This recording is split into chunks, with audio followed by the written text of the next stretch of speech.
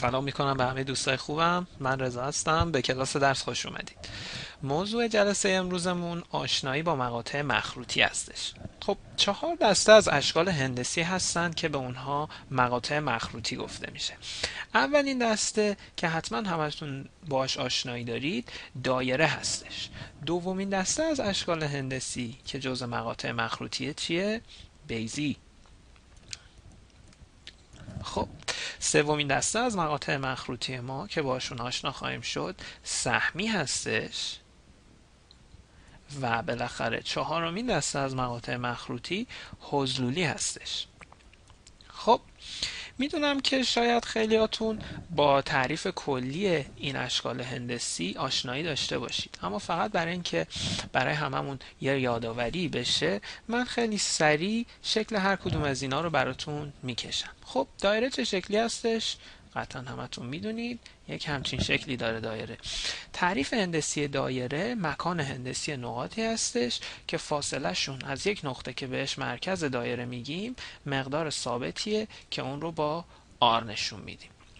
خب بیزی چه شکلی هستش؟ بیزی خیلی شبیه دایره است. در حقیقت شبیه یک دایره میمونه که در یک جهت اونو کشیدیم. مثلا این یک بیزی افقی و این یک بیزی عمودی هستش. خب بریم سراغ سهمی.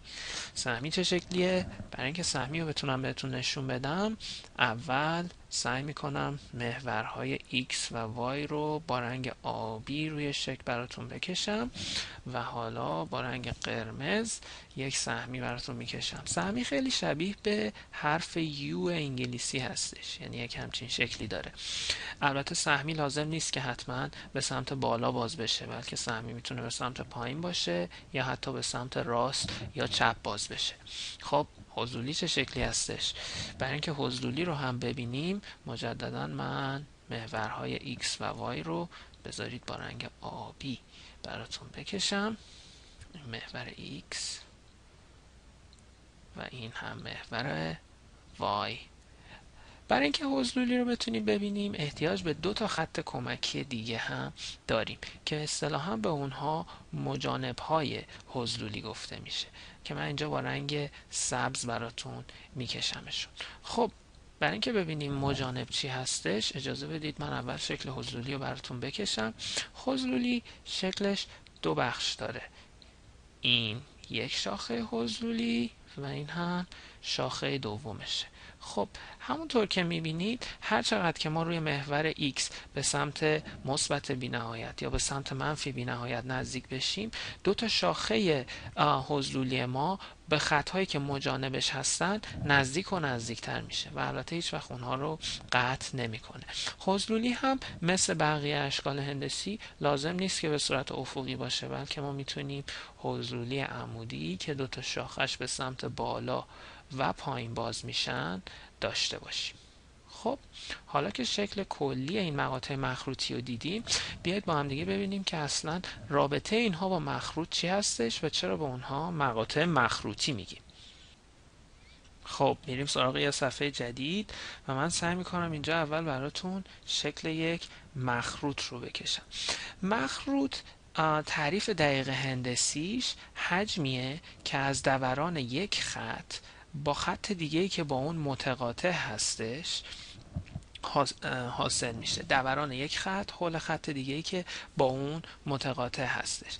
و به خط ثابت محور مخروط و به خطی که حول اون دوران پیدا کرده مولد مخروط میگیم. خب من اینجا محور مخروط رو با خطچین سبز رنگ براتون نشون میدم. این محور مخروط هستش و این خطی که اینجا داریم مولد مخروط هستش که از دوران اون حول محور مخروط, مخروط ما حاصل شده. خب حالا فرض کنید که ما یک صفحه ای داریم که بر محور مخروط ما عمود هستش. من اینجا این صفحه رو با رنگ قرمز سعی می‌کنم براتون بکشم. خب صفحه ای که بر محور مخروط ما عمود هستش. یک همچین صفحه ای خب حالا فرض کنید که این صفحه با مخروط ما تقاطع پیدا کرده. مقطع این تقاطع یک همچین شکلی خواهد بود. حالا اگر ما از بالا به صفحه قرمز رنگمون نگاه بکنیم چی می‌بینیم؟ شکلی که می‌بینیم همون دایره هستش. یعنی این اگر نما از بالای صفحه قرمز رنگ باشه ما یک همچین دایره ای رو می‌بینیم که این محل تقاطع صفحه ای هستش که عمود بر محور مخروط با مخروط ما. خب حالا بیاید ما شروع کنیم صفحمون رو یک کمی بهش زاویه بدیم تا دیگه بر محور مخروط ما عمود نباشه. خب صفحه زاویه دار رو من اینجا با رنگ آبی براتون می‌کشم. این از صفحه زاویه دار ما با مخروط. خوبه؟ خب حالا من بگید که مقطع تقاطع این صفحه با مخروط ما چه شکلی هستش؟ یه راهنمایی. یک همچین شکلیه. خب این شبیه چی هستش؟ بیزی درسته؟ این شبیه به بیزی هستش. یعنی ما یک همچین شکلی می‌گیریم. اگر به صورت عمود به صفحه آبی رنگ به اون نگاه بکنیم یعنی از همچین زاویه ای خب ما اینجا صفحهمون رو جوری چرخوندیم که این نقطه که اولین نقطه تقاطع صفحه با مخروطمون هست ثابت مونده از صفحه قرمز به صفحه آبی رنگ. می‌بینید که دایره ما در این جهت کشیده شده و به یک بیزی تبدیل شده. خب حالا بیاید صفحمون رو بیشتر بچرخونیم جوری که به جایی برسیم که صفحمون با مولد مخروطمون موازی بشه. یعنی یک همچین صفحه ای داشته باشیم که من سعی می‌کنم با رنگ زرد براتون بکشم. دیگه خورده موازی کشیدن اینجا سخته اما من سعیمو می‌کنم. خب بدم نشد. این صفحه زرد رنگ الان صفحه که همونطور که می‌بینید با دیواره مخروط ما یا با مولدش موازی هستش. خب حالا تقاطع این صفحه با مخروط ما چه شکلی بهمون میده؟ کسی حدسی داره؟ راهنمایی می‌کنم. همچین شکلی هستش. این یک برش و این هم یکی طرفش. خب حالا ما اگر از زاویه‌ای که عمود بر صفحه زرد رنگه از بالا بهش نگاه بکنیم چه شکلی رو می‌بینیم؟ سهمی. درسته؟ یک همچین شکلی رو می‌بینیم. خب اینجا یه چیز خیلی جالبی رو ما فهمیدیم. همینطور که از صفحه قرمز رنگ شروع کردیم و شروع کردیم به دوران دادن صفحمون اول دایره ما کشیده شد و به یک بیزی تبدیل شد و بعد جایی که صفحه موازی میشه با دیواره مخروط بیزی در حقیقت از این انتها باز میشه و به یک سهمی تبدیل میشه. خب حالا بیایید به صفحمون بیشتر زاویه بدیم یا بیشتر به چرخونیمش جوری که هر دو بخش مخروط رو قطع بکنه. یعنی یک همچین صفحه ای داشته باشیم. یک کمی کشیدنش سخته ولی باز من سعیمو می‌کنم یک همچین صفحه ای داشته باشیم. با رنگ بنفش دارم می‌کشم یکی رو. خب این صفحه که هر دو بخش سهمی ما رو قطع کرده. حالا به من بگید که محل تقاطع این صفحه با, با مخروط چی هستش؟ این یک بخششه و این هم بخش بالاییشه.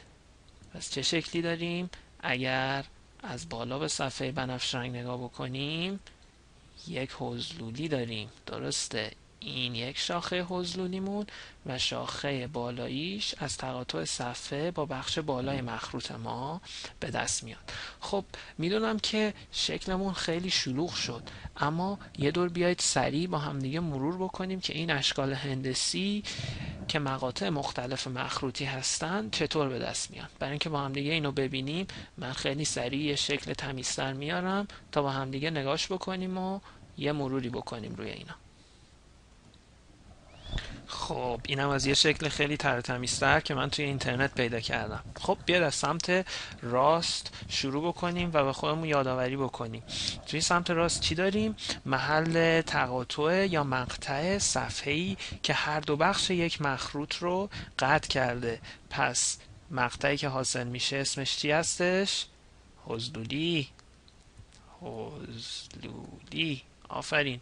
خب حالا توی شکل وسطی چی داریم؟ اول محل تقاطع صفحه ای که با محور مخروطمون زاویه 90 درجه می‌سازه. چه مقطعی بهمون میده؟ دایره. آفرین. خب این پایین چی داریم؟ صفحه ای داریم که زاویه داره با محور اصلی مخروطمون. تقاطعش با مخروط به ما چی میده؟ بیزی آفرین. خب و نهایتا اینجا یک صفحه موازی داریم با دیواره مخروطمون. پس سطح مقطعی که می‌گیریم چی هستش؟ بلند سهمی. آفرین. خب ما تو این جلسه تعریف کلی مقاطع مخروطی رو دیدیم. توی جلسه های بعدی وارد جزئیات هر کدوم از اونا میشیم و روابط ریاضی مربوط بهشون رو می‌بینیم. تو کلاس درس بعدی میبینمتون. خداحافظ.